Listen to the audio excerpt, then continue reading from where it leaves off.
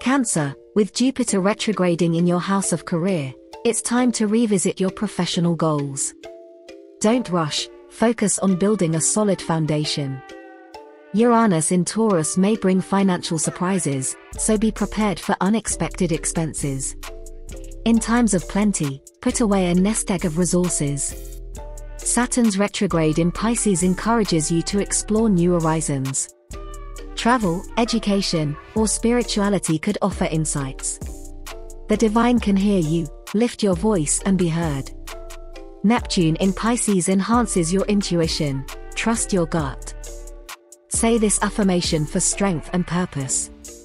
I am open to the wisdom of the universe, guiding me towards a fulfilling career and financial stability. Once more, Cancer. I am open to the wisdom of the universe, guiding me towards a fulfilling career and financial stability.